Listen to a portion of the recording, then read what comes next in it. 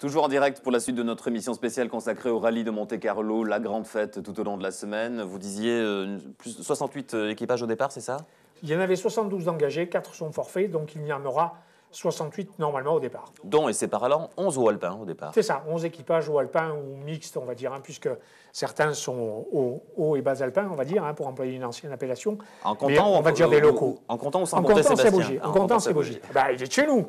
Il est d'ici, donc euh, on va le prendre avec nous quand même. Et avec beaucoup de Hein plaisir. Voilà. Et il y aura d'ailleurs une présentation de tous les équipages au alpin sur ça sur la place de la République ce mercredi à 17h parmi les multiples festivités qui vous attendent. Avant cela, eh bien, il y aura eu donc euh, eu le passage de ce shakedown de Châteauvieux. On va voir quelques images des, des préparatifs. Vous y étiez, Jean-Jacques, d'ailleurs Oui, tout à fait. de votre casquette de responsable automobile. Donc les, les préparatifs qui ont eu lieu euh, du côté de Châteauvieux avec des, des kilomètres et des kilomètres de, de rubalise, c'est ça? Oui, bien sûr, parce qu'il faut, encore une fois, on l'a dit tout à l'heure, on joue la, la sécurité en jouant sur les couleurs. Et donc, effectivement, bah, pour une petite distance comme celle de Châteauvieux qui fait 3 km et demi, donc c'est court hein, comme, euh, comme distance, il faut quelques kilomètres de rubalise, tant de la rouge que de la verte. Alors, euh, ce rallye Monte-Carlo, eh bien, ce sont aussi des retombées économiques très conséquentes. Tous les hôtels sont pleins, peut-être à 40-50 km à la ronde. C'est le cas, par exemple, au Mas de l'Estello. Le Mas de l'Estello, c'est à côté de Tallard. Euh, ce sont des amis de Sébastien Ogier. C'est là où se posera l'équipe Volkswagen. Écoutez Sandrine Rossignol, qui est l'une des responsables de l'hôtel. Jusqu'à présent, euh, le rallye de Monte-Carlo, euh, c'était quelque chose de. Enfin, sur l'établissement qui existait avant le Malistello, l'Arizona, quelque chose de, qui amenait beaucoup de monde. Touristes, effectivement, oui. Là, la semaine prochaine, euh, grosse semaine d'activité avec des gens euh, de passage, touristes, des locaux aussi.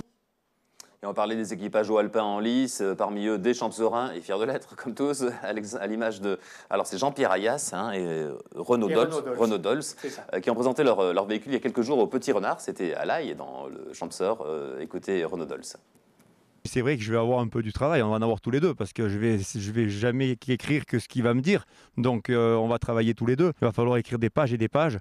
En course, quand ça va trop vite, des fois je ferme un peu les yeux. On va essayer de prendre les notes. euh, on a changé notre façon de noter en plus.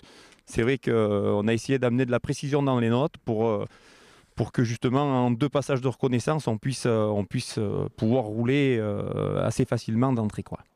Oui, là, c'était en l'occurrence Jean-Pierre Ayas qui nous disait qu'il fermait quelquefois les yeux.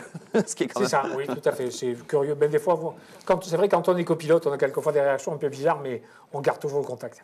Alors, dans un petit moment, euh, sur DC TV, dans cette même émission, on va continuer à passer en revue tous ces événements. On va entre autres euh, voir quelques images de caméras embarquées, des premières spéciales, celle du Buège, puis ensuite celle d'Esparon, celle des Garcinets, tout cela après avoir fait un point complet sur euh, l'actualité d'ici et l'actualité d'ailleurs avec la rédaction d'ici et le journal de Valentin Doyen.